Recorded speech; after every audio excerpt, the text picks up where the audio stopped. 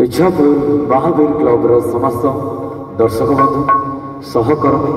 ଶ୍ରୋତାବନ୍ଧୁ କର୍ମକର୍ତ୍ତା ଭାଇ ଓ ଭଉଣୀମାନଙ୍କୁ ଆମର ଶ୍ରୀକାକୁଲମ ଶ୍ରୀନାଥେଶ୍ୱର ଲାଇଭ ନ୍ୟୁଜ୍ ତରଫରୁ ପବିତ୍ର